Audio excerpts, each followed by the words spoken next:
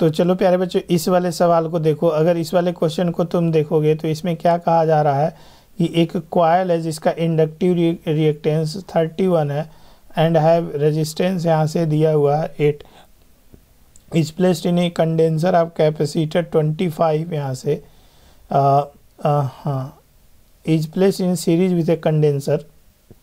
मतलब कुल मिला के अगर इस क्वेश्चन को देखोगे तो ये क्वेश्चन जो है वो बेसिकली सीरीज़ एल का सर्किट है तो ये रहा अपना इंडक्टर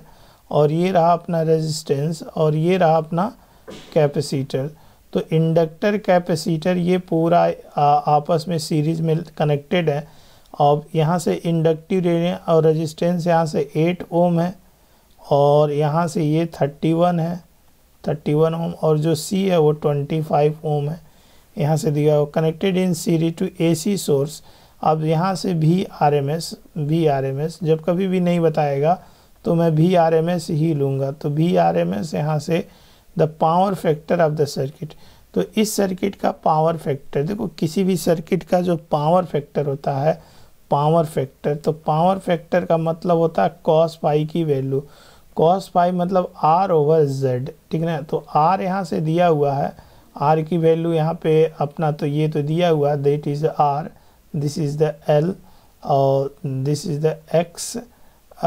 X C की वैल्यू ट्वेंटी फाइव है, और यहाँ एक्स एल की वैल्यू थर्टी वन है, ठीक ना? तो R over Z Z I आप सबको पता होगा कैसे निकालते हैं। R square plus X L minus X C का होल स्क्वायर और under root this is the final conclusion तो अब इसमें पावर फैक्टर अब इसको सॉल्व कर लो। तो पावर फैक्टर की जो वैल्यू आ जाएगी यहाँ से यहाँ से इसको मैं इधर सॉल्व करता हूँ। तो आर आर की वैल्यू यहाँ रखो। आर है अपना एट और डिवाइड कर दूँ यहाँ से एट का स्क्वायर प्लस यहाँ से X L minus X C का होल स्क्वायर तो एक्सएल कितना है? थर्टी वन माइनस यहाँ से ट्वेंटी फाइव का होल स्क्वायर अंडर रूट है ना? तो यहाँ से थर्टी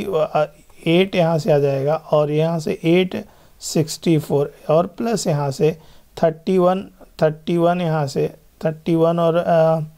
माइनस यहाँ से करोगे थर्टी वन तो यह आ जाएगा सिक्स का thirty six six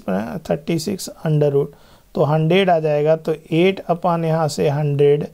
under root तो हंड्रेड मतलब टेन तो एट अपान टेन मतलब यहाँ से ज़ीरो पॉइंट एट